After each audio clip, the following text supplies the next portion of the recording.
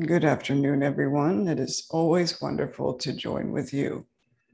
We are with you, and we'd like everyone to center into this moment now, recalling that now is the only time that is. Let go of all thoughts of the past, all future predictions, or any distracting thoughts that may arise. Just let them pass by as clouds pass through the sky. So we are here and you are as well. So, of course, we have been talking about awakening, and we are going to continue to talk about awakening because that is what this time is time for awakening, you see. And so, of course, right now as you experience life and the world. It looks as though it is one of the worst of your experience. But we want you to realize that it's playing an integral part in your awakening because it is actually a prompting for you to awaken you don't want this anymore. The violence, the catastrophes, the tragedies, the seeming control, and all of that is not what you want anymore. What we are teaching you, and we have been teaching you, we're going to continue to teach you, is you are a mind and not a body, which means you have the full capability to decide how you want to feel. No one else can make that decision for you. No one else can tell you how to feel. And even if someone did tell you how to feel, you can tell yourself what it is you want to feel, you see. Nobody, nowhere could ever tell you that they can influence your mind, you see. Being the mind that is the dreamer of the dream rather than the figure in the dream, you are the one who have the full capability to decide what thoughts you let in, what thoughts you align with, and what thoughts you let go of. Does this make sense to everyone? So, we were saying to the channel that well,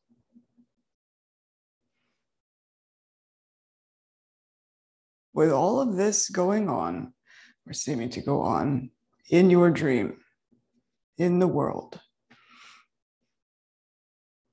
we wanted you to realize something that this is but a dream.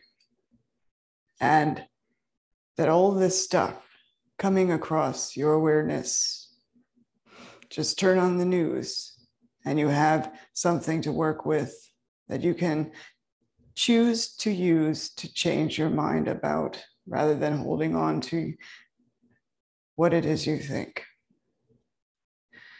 But instead, turning to the Holy Spirit, who is in your right mind, and looking to it for its guidance, you see. Remember, you have but two parts to your mind you have the ego mind, which is conflict, pain, darkness, etc. All of the ephemeral. That's the ego mind, the ego thought system. And the Holy Spirit thought system, which is the remembrance of who you really are, who is eternal and who is love and light and peace, you see. So you want to begin to choose to align with the mind of peace in all of your interactions before you do anything in the world. So that you are operating from a mind of peace no matter what.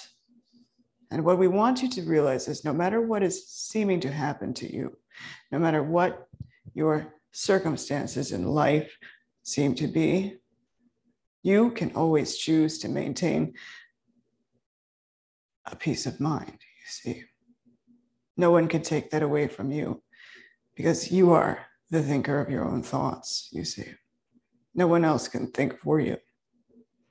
So, well,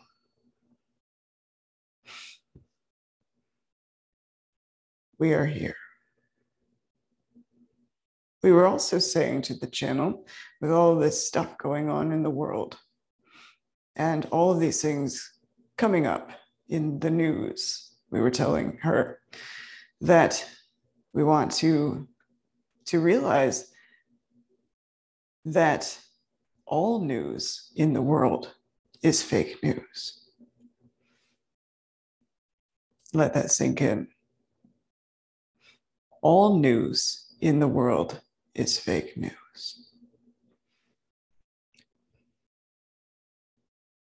Remember, there is no order of illusion, you see. There is no hierarchy of illusion. It's all the same, meaning it is all illusion. So, one thing that seems more real than something else in the news is not more real than anything else in the news in the world, you see, because all of it is equally illusion. Nothing more real than the other. All of this is but a dream. So,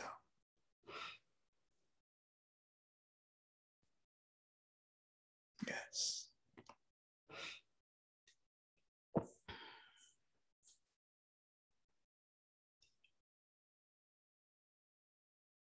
And so we want you to begin to look on life in this way as well, to remind the mind that this all is but illusion. None of it is more real than anything else. It is all the same thing. It is all part of the dream.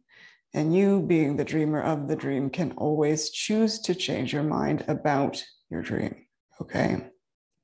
That means you can choose to give up your own judgments and look to the Holy Spirit for correct perception instead. You see?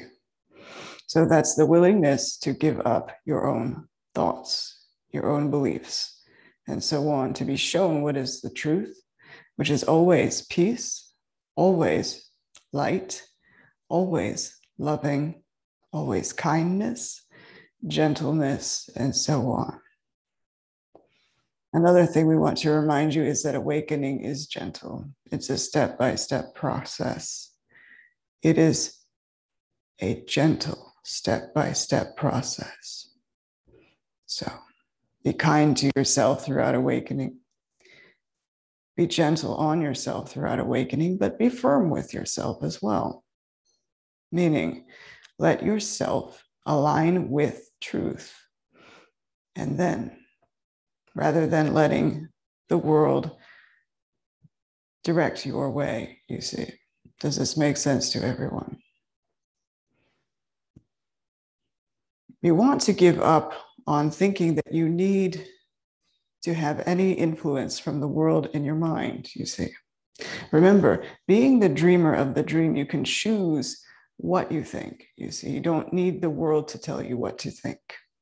We really want you to realize that because we want you to remember that you are not a victim of the world, but of your own thinking, your own mind. And you can always choose to change your mind. You can always choose to change your thinking. So, we are here. And we are ready for questions.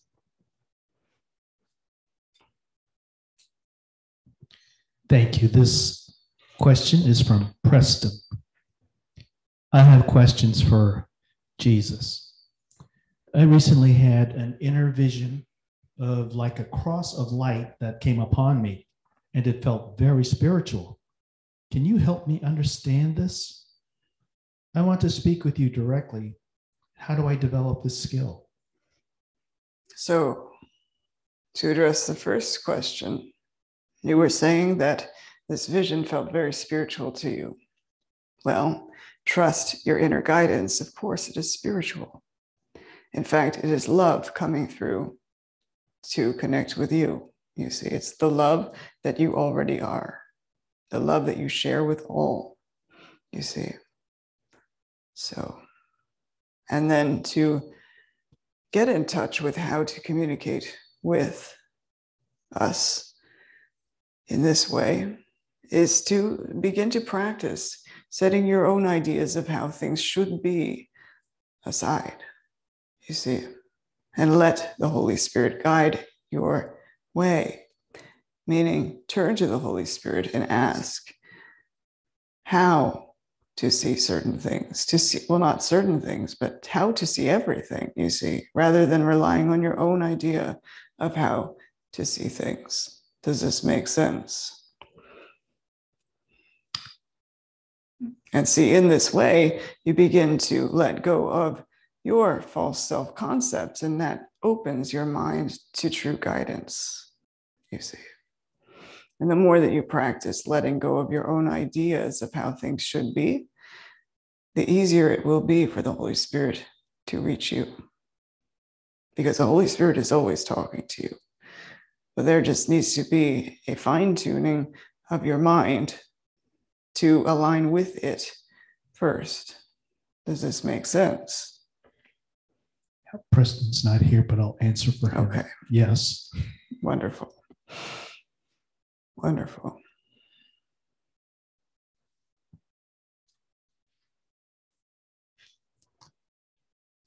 Okay, this question comes from Jim.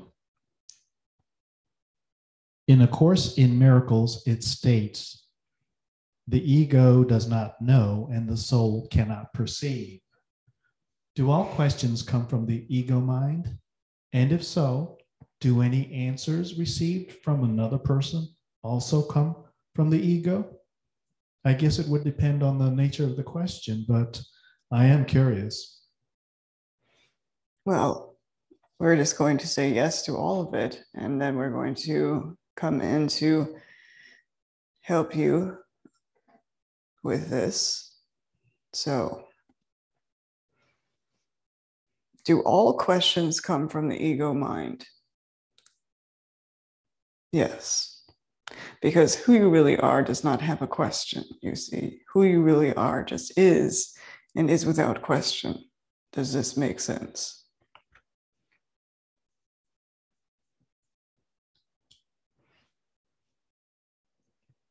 Thank you for answering my question and thank you for your insight. I send everyone here so much love, light, and peace. And yes. Wonderful. And of course, that is sent back to you as well. So, and the other parts of this question? It was, uh, I guess it would depend on the nature of the question, of whether or not it was uh, ego. Yes, you can always ask the Holy Spirit, Am I perceiving this correctly? Or help me to see how you see, you see, which is how to perceive the way that you perceive help me to align with how you are. And the question of, will you please show me the way, opens up your mind to be guided, you see. A good question, though, that you can ask, which does not come from your ego, which is, how do I want to feel? Okay. And this is going forward in your life, your daily life, so that you get in touch with what it is you want to experience and how it is you want to feel, you see. So that you have, we, we, we have called this an anchor. It anchors your experience, you see. So you make up your mind. You want to have this experience, you want to feel this way. And you're going to continue to bring your mind back to that decision throughout your day. And so that kind of question is not from the ego. The ego asks a lot of questions, questions to distract you from present awareness of love. Does this make sense? Makes so much sense. Wonderful. So, and then you said questions that someone else asks is this, this correct? Yeah, the wall. Uh, if if do any answers received from another person also come from the ego? Sometimes spirit can speak through somebody who is open enough and it will come through, but you will feel that. You will have that intuitive recognition that that was an answer from spirit. Does this make sense? Meaning your mind no longer analyzes anything and it just comes to an aha or a clarity, peace of mind. You yes. see? And so, in that way, yes, yes, answers can come, come through others. And you can even see an answer on a billboard and etc. things like that. You see, but that is needing you to tune into to it, you see. So wonderful. Thank you. Thank you. Next question comes from Chris. Can a world of bodies that is free of guilt exist? Or is guilt the original seed so that where there are bodies, there must be guilt? Could there be a dream of separation, perhaps one without guilt, pain, fear, and death, that the mind of God finds pleasing and worthy of eternity? Thank you for that question. Firstly, the first part, which was Can a dream of bodies exist? Please, please continue with. Yes, uh, it was Can a world of bodies that is free of guilt exist? Free of guilt. Yes, indeed. Yes, indeed. Or is guilt the original? But here's the thing when you are experiencing the world that is free of guilt, it means you're not in the world anymore. That doesn't mean that you're physically out of the world, but you no longer identify with being in the world, you see. But instead, you are in a world of peace, which is a state of mind. Does this make sense?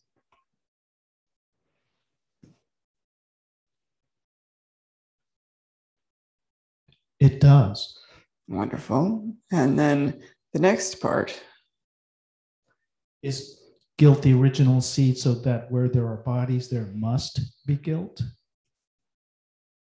It's the belief in the body that guilt arises, you see. If you knew the truth, you wouldn't believe the bodies, you see, and so there would be no guilt. Guilt and the ego go hand in hand. The ego and the body do as well, you see.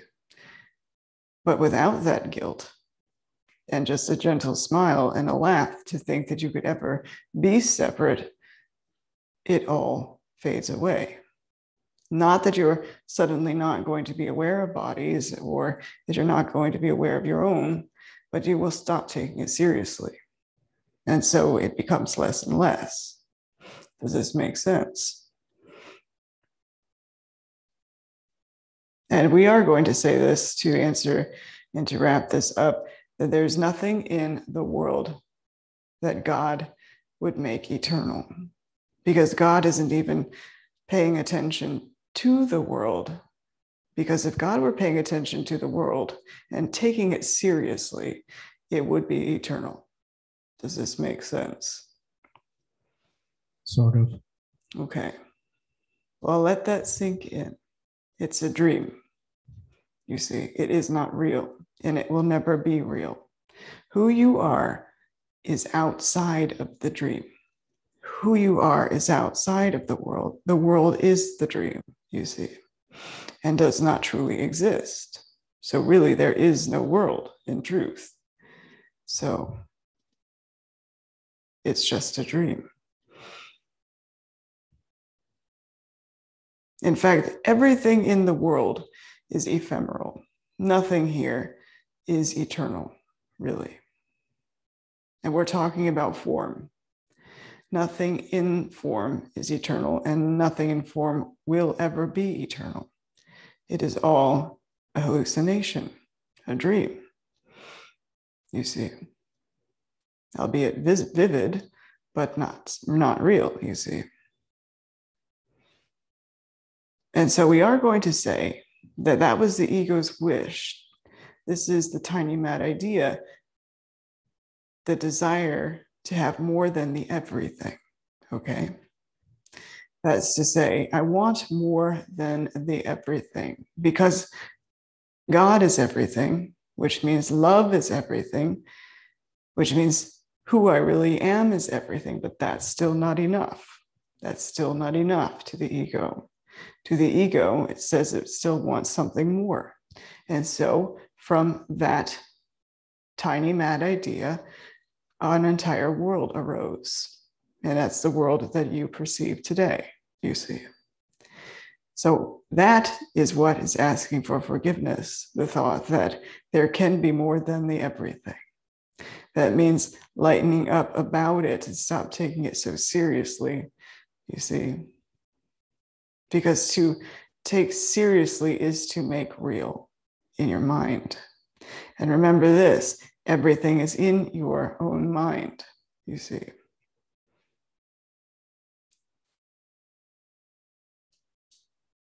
Does this make sense?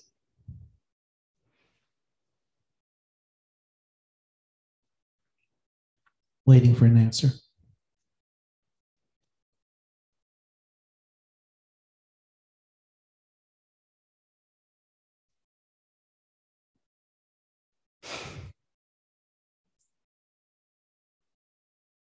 Is. Seems as though he's gone off.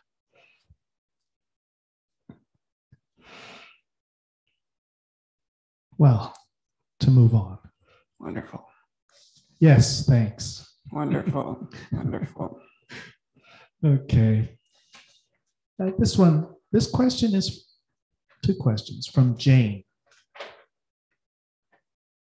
Four or five years ago, I had two dreams about God and Jesus appearing in the parting clouds with trumpeting angels who are taking people up to join them. I was not taken up. The dream shook me. I searched online and, and found that this was a prophecy called the rapture. Having very little religious education, I was not previously aware of this. Around the same time, my husband had a dream that shook him too. It was about a collapse of society, and people were in chaos, rioting, and looting. He was helping those in distress and directing people my way for medical attention, as I am a, a registered nurse. Since listening to your videos, my feelings now is that the dreams were preparing us to wake up. Could you please tell me what, if anything, these dreams are? Well, first of all, you received this from the higher to come through. And how do we want to put this?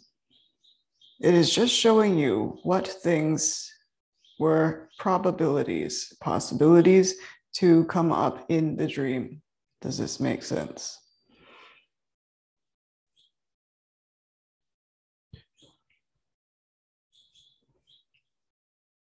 Not quite. Okay. So remember, everything here is a dream. And probabilities are this is a probable thing, not necessarily going to happen. None of this is set in stone, you see. None of it is set in stone. It's always fluctuating, it's always changing. And so it depends on where consciousness is in the moment. And so it took that turn, you see. It was just an awareness of what may come up. And so, what do you see? Did seem to come into this, you see. Does this make sense? Hmm. Yes, thank you.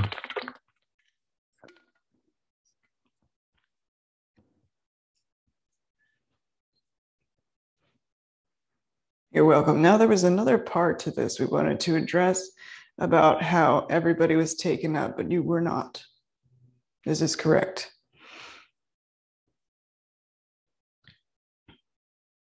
Yes. We want to explain to you what that is, is showing you what your ego thinks about you, you see. It's saying everyone else is worthy and innocent and can be taken up, but you can't. You see, and that's the original mistake that you are a sinner or that you are cast out of heaven and not lo- no longer allowed back in. That's the ego's idea, you see. Does this make sense? Yes, thank you. You're welcome. In fact, all of this, all that was seen in your dream and in your husband's dream, those are all ideas from the ego, okay? You see? Remember, true reality is formless and light. Does this make sense? But it can come through in visions and in dreams, in symbols, which is what you saw. Both of you did. So it was simply showing you where your mind is. Does this make sense? Yes. Is there anything else? That's it. Wonderful. Next question comes from Deb. There is much mention in the Course about freedom and that the Son of God is free. Some have said that this focus on and endorsement of freedom in the Course lends support to the defiance of and disagreement with things such as mask mandates, social distancing, and quarantine requirements, and that submitting to these is contrary to the lesson that we are under no laws but God's. Could you explain what the Course means Yes. by, quote, freedom, and whether it has anything to do with freedom from mask mandates, social distancing, or quarantine requirements? Perfect question. Perfect question. The freedom we speak of in the Course is freedom of mind, which doesn't always mean freedom in form. Does this make sense? And when we say, you are under no laws but God's, that is truth, you see. So your mind is under no laws but God's. That's your right mind, you see. Your wrong mind, which operates in the world and believes and identifies with the world, seems to find itself ruled by a myriad of other laws. Does this make sense? But what you want to do is align with the truth of you, which is you as God created you, which is the you that's under no laws but God's. But remember this this is a dream.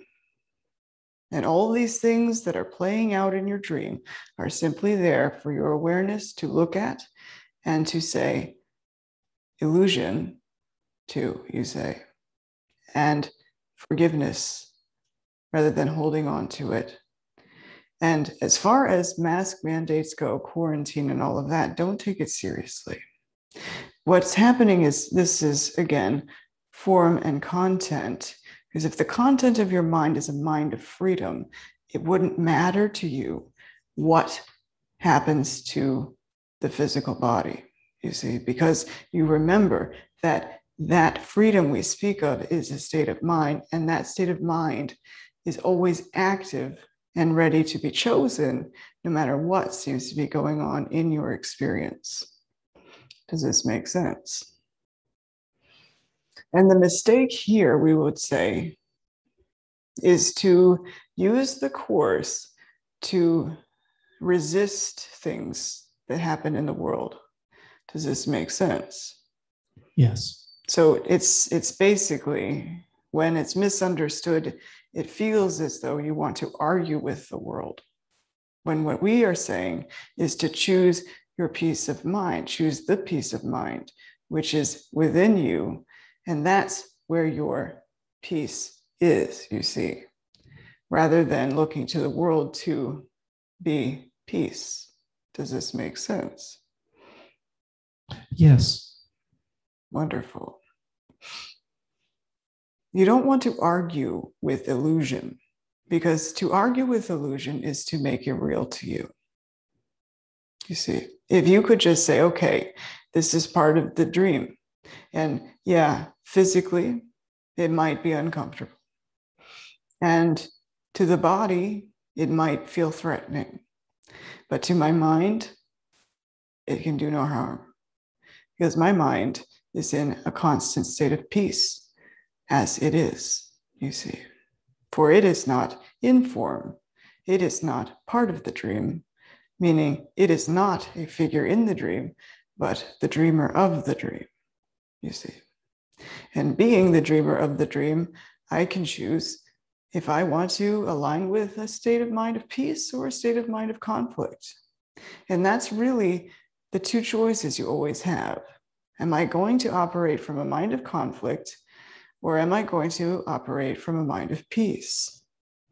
So, if you want to operate from a mind of peace, you align with that state of mind and you take that into every situation, meaning you just go about your life as an example of peace, you see, as one who operates from a peace of mind rather than conflict. You don't fight with life. You don't fight with the illusion, but you just see that, yes, this is illusion and this cannot affect me in truth because I am not form. You see, I am the mind that thought this up. Does this make sense? Oh, yes. Thank you. You're welcome. Does this answer your question? Yes. Wonderful. another thing we were talking to the channel about there's a lot of things spoken of in the news about information and misinformation remember how we said all news is fake news in the world well we want to tell you this too all information in the world is misinformation none of this is real none of it and we mean that absolutely none of it and when we said all news is fake news, we mean that too. That means it's all illusion, it's all fake, it's all a dream. Nothing is more dream than anything else, meaning there is no hierarchy of illusion. Everything is the same. It is all illusion, whether it be filled with happiness or filled with strife. It's still illusion, you see. Does this make sense to everyone? And so all of it looks simply to forgiveness, you see, forgiving the mind from ever thinking that it could be anything other than it is, which is love, you see. So. Thank you. Thank you. Okay, well, next question is from Diane who says, I have a difficult time discerning the wisdom of the Holy Spirit from my own ego voice when I am fearful. What thoughts can I start my day with to open my mind to the Holy Spirit's wisdom and keep it clear of the ego's voice, which enters every time I feel afraid? Okay. Another good question. They're all good questions.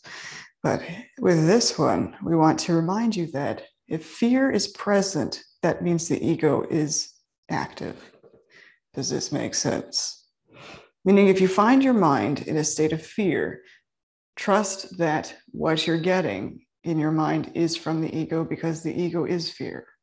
Does this make sense? Waiting for an answer.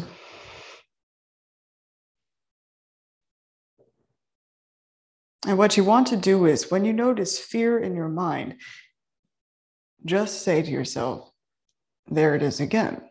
There's the fear, that's the, that part of my mind that seeks to remain separate. That's that part of my mind that wants more than the everything. That's that part of the mind that needs forgiveness, you see. And it isn't that that part of your mind needs forgiveness, but it's the belief that it's even there that needs forgiveness, you see. So, how to start your day?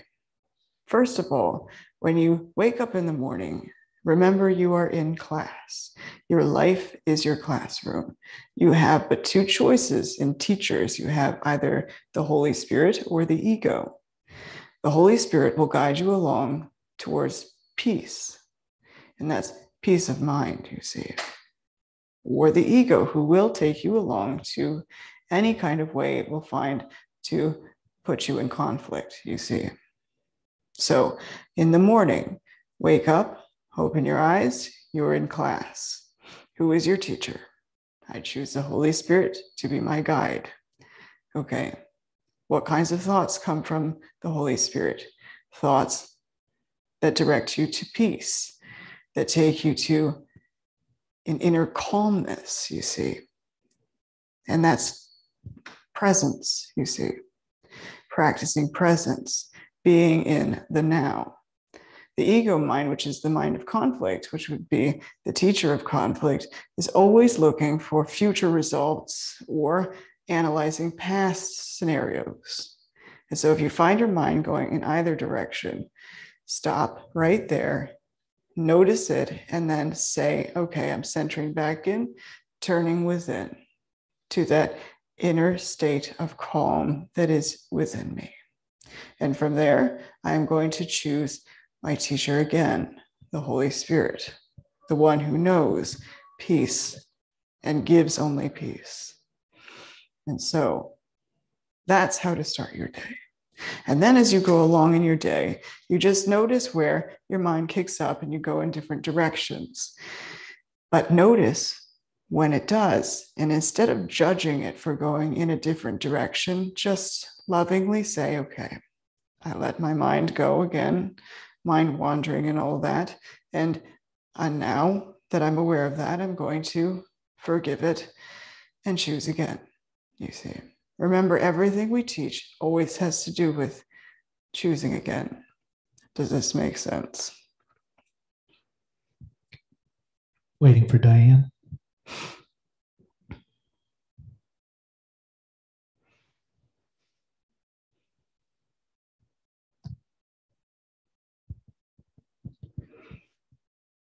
And really just maintaining that that distance or putting that distance between yourself and the ego mind will help you to just simply be the observer of what you experience. So you'll see the thoughts coming in, or you'll feel, feel it coming in. And by feeling, you will know what direction to go in.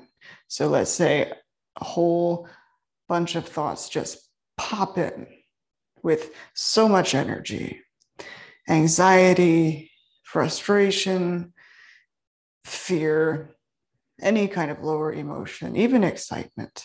Just stop, center back in, and choose peace, you see. Just realize, okay, that's the ego mind coming in. Well, I have two parts to my mind. I can choose the mind of peace. And I, in fact, will choose the mind of peace now that I'm aware that my mind has gone in the direction of the mind of conflict, you see. Does this make sense? Waiting for Diane's answer.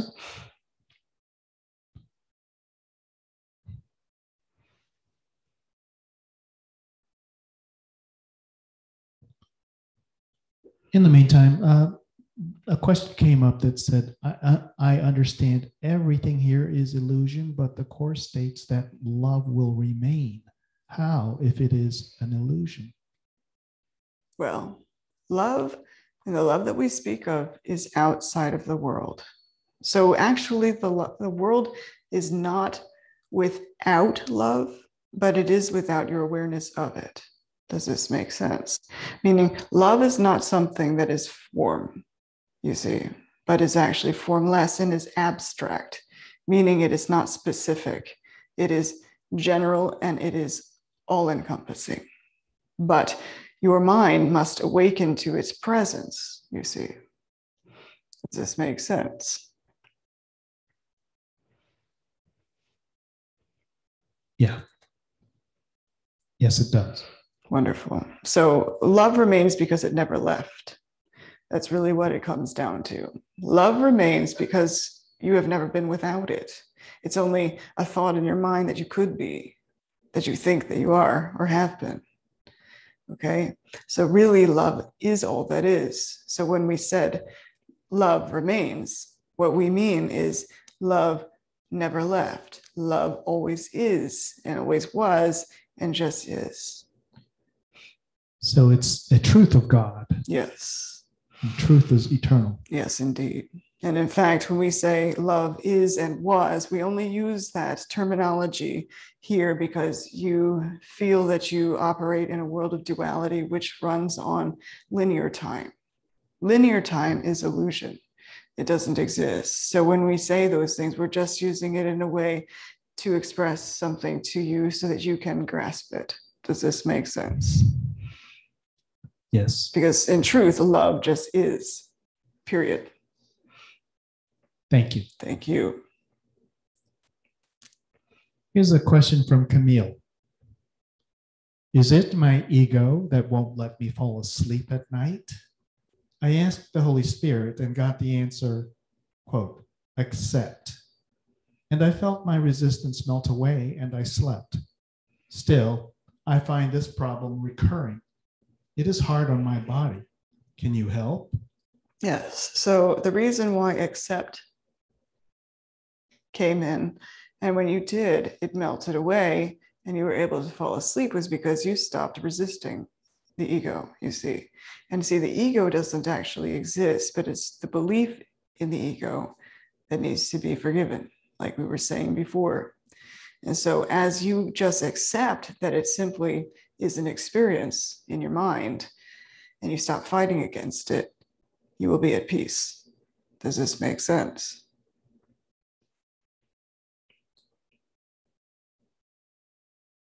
Waiting for Camille.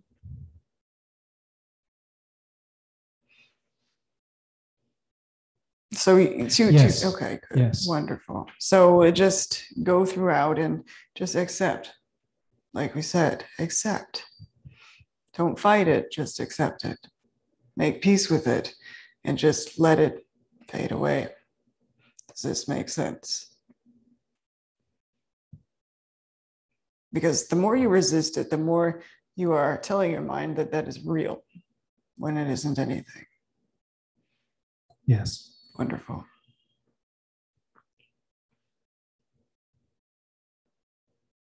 Okay. Thank you. Thank you. Uh, I don't know if Cecilia is here, but here's a question from her. My husband and I are trying to heal our relationship after I learned recently that he was having inappropriate communication with another woman. the affair was not physical, but the betrayal hurts the same. There is great remorse and repentance from him, and I'm doing my best to apply ACIM teachings to forgive him and heal my pain. I think it is working. I ask Jesus and the Holy Spirit daily to help me see this from his point of view, and I would find it very helpful if you could speak about infidelity in marriage and how to get past the pain and trust uh, my husband again. Okay. Thank so you. You're welcome. So we're going to take it in this direction, which is truth. The real infidelity that you are experiencing is the thought that you can could betray yourself. Does this make sense? Because actually, nothing that someone seems to have done to you is actually where it's coming from, but it's coming from a decision in your mind. Does this make sense? Yes. And so also forgiveness of it is just to to say, okay, this seemed to be something in my experience that was not what I wanted to experience. And I thought that that we had it good and all of that. But the one you really want to connect with is your true self. Does this make sense? And that's really the relationship that you're looking to repair, so to speak. Does this make sense? Yes. If self and self were fully in alignment, nothing that happens in the world would shake you.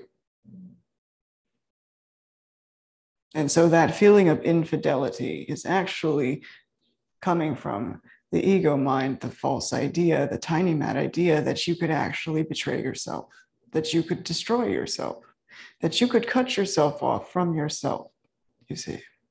And like we said, if self and self were at one as one, then nothing in the world could shake you. You see.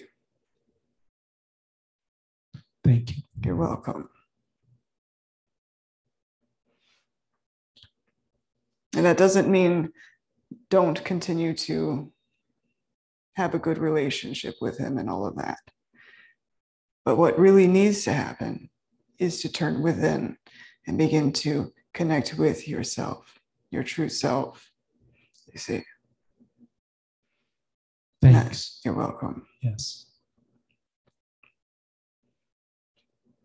Okay, this question comes from Philip.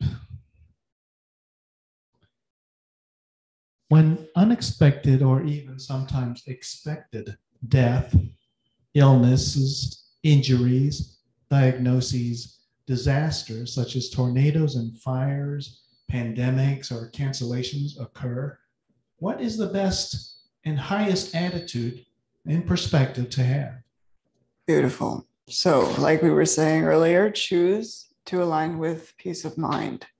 And in that way, that's how you will interact with the world. Does this make sense? No matter what seems to be going on in the world, you can still maintain peace of mind. And so you want to operate from identification as peace of mind, you see. Yeah, waiting on Philip.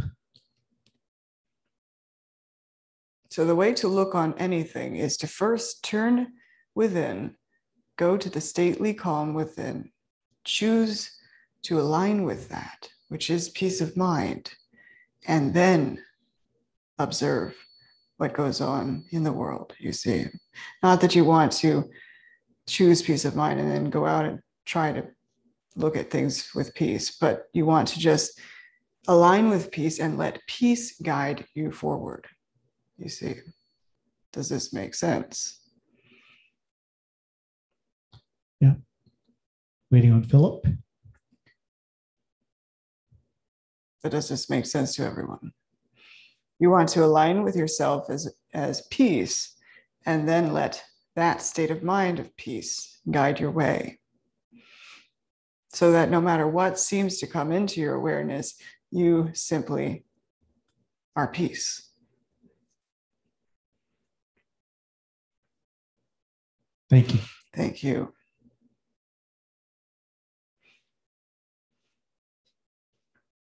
Carrie asks, What is God's name? I am Abba, Father, Love, God, Master. All feel like descriptions to me.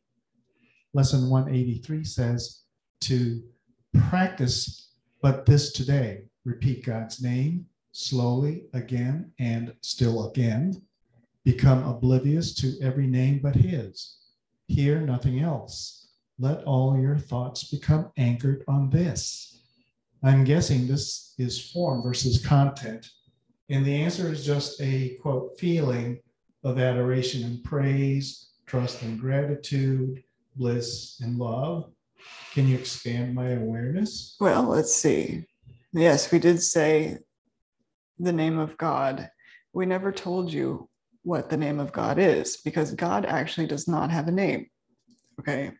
So we could say just God is, you see. And if you could practice that that way, does this make sense? Instead of thinking of God's name and thinking of all the different types of names that have been given to God, just say God is and sit in that you see. We don't necessarily mean sit down and physically sit in it, but but be in that that presence and that feeling of God is. Does this make sense? God is, correct? Yes. That's it. Just God is. Yes. And then remember, we also said this in the course.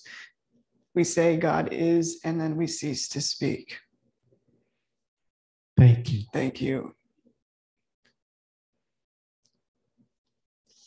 Here's a uh, question from Reverend Tony. Jesus, in the Course in Miracles, you taught us that freedom is important and that while we shouldn't fight for freedom, we should certainly side with it. In San Francisco and New York City, many freedoms are being denied to people who are not vaccinated. I feel moved in the direction of doing something about this to side with freedom. I was not guided to get vaccinated, which I still feel fine about. However, I feel lots of negative judgment and rejection from the many associates who have gotten vaccinated, and I'm feeling confused about my path forward. Can you comment on this? Absolutely. Freedom, like we said before, to a similar question, freedom is a state of mind. It has nothing to do with form at all, you see, but is a state of mind. So if you got vaccinated with a, state of mind of freedom, you're in a, you're in freedom. Does this make sense? But if you feel that you go and get the vaccination within a with the content of imprisonment in your mind, you're telling the story and saying that something outside of you can imprison you or can imprison your mind. Remember, you're a mind and not a body. So you've got to lighten up and not take it seriously. See, this is a form and content confusion situation, thinking that the vaccination will actually harm you in the mind. Does this make sense? It will impinge on your freedom of mind, which it can't. Yes. Wonderful. It really can't. The other part to this is judgment. Obviously, it doesn't feel good to feel judged, but make peace with it and don't take them seriously either. You see, don't take someone else's judgment of you seriously. Just be who you are and say, okay, well, this is where I am, and just let it be. You see, does this make sense? Yes. Wonderful.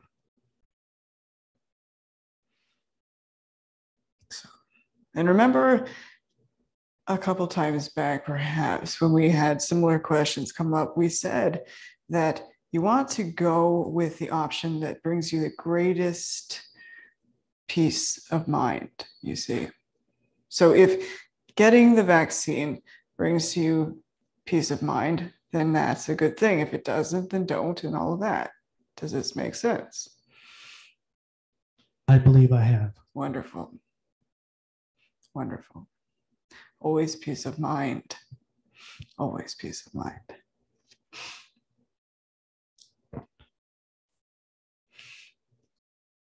So, anything else? Thank you. Thank you. No, thanks. Wonderful. Here's a question from Deepa. It seems several phases are phrases are used unkindly by course students towards each other, though their intention is most likely to be helpful. Being kind is something you teach, yet it seems very unkind to tell someone who has been raped or abused that they, quote, invented it. We have perfect love in our true reality, but while we are here in the illusion, many very unconscionable acts are done by people to each other. And it seems very incorrect and unhelpful for someone to say that an abuser is really coming from a loving place. I think an abuser's actions speak to a great fear. They can't possibly be loving from that space. The abuser's actions are a call for love, but not love. Please comment and elucidate how this is used by the Holy Spirit Wonderful. to heal all of us. Okay, let's go back to the very beginning. It seems that course students uh, say some phrases Right. the intention is most likely to be helpful, but they're unkind. which is a misunderstanding of what we're teaching. Which the kindness is actually what we're teaching, which would be to go within and allow the Holy Spirit to speak through you with the most loving kindness that comes through, which is without your judgment. Does this make sense?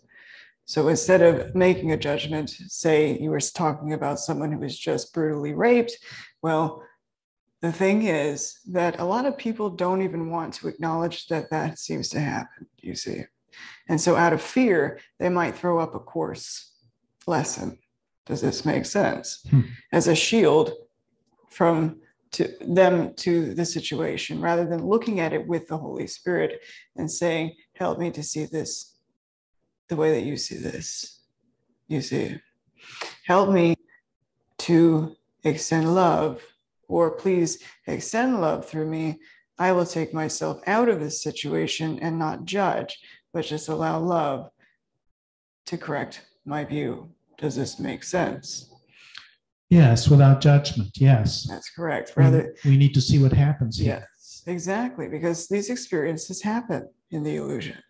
There's no doubt about that. And it doesn't mean pretend like it's not happening to someone and someone's not having that experience, but it is to step back and not judge, but only love, you see. So, with that, absolutely. And that is a, a common mistake that happens with so many students of the course and without realizing that what that comes from is fear actually. I don't want to see this because you said this is illusion you said you see. And i'm going to pretend like that's not happening because i just can't handle that you see. But what they're really saying when using the lessons in that way is actually an attack does this make sense because if you understood that it is but a dream, you wouldn't feel like you needed to defend yourself against it in the first place. And of course, not tell somebody who just went through the experience that, that they've got to forget the experience because it was just an illusion. You see, that's not how to go about healing. You see. So,